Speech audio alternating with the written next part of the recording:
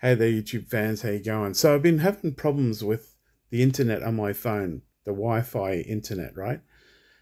And it finally dawned on me something. So if I test it with the speed test, let's see.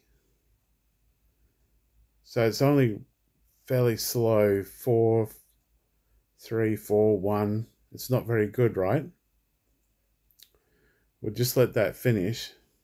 It's pretty low.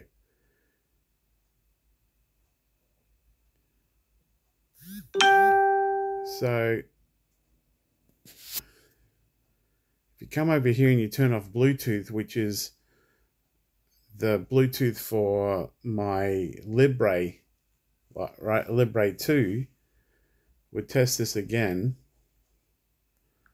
right? Look at the difference. Bam.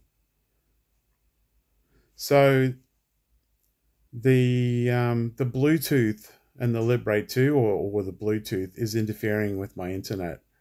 More than likely, it's the um, Libre 2. I had this problem before. For some reason, I worked it out before I completely forgot. So the constant glucose monitor Libre 2 seems to interfere um, with the speed of your Wi-Fi internet on your phone, and it's it's um, a Bluetooth thing. It's a Bluetooth issue. You need to turn the Bluetooth off. I hope that helps somebody. And um, I don't know if they'll they have a fix for it. I'll try to do another video if I do find a fix for it.